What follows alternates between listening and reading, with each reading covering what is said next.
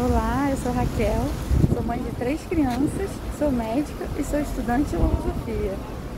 E qual é a mãe, qual é o pai que não quer criar filhos melhores para esse mundo? Filhos mais felizes, mais conscientes, mais livres. Mas como começar? Eu estou aqui para te convidar para a oficina Correção Consciente, que vai acontecer no dia 13 de agosto, às 11 horas, na Fundação Logosófica de Botafogo. Eu venho aprendendo com meus filhos que corrigir vai muito além de mudar o comportamento deles.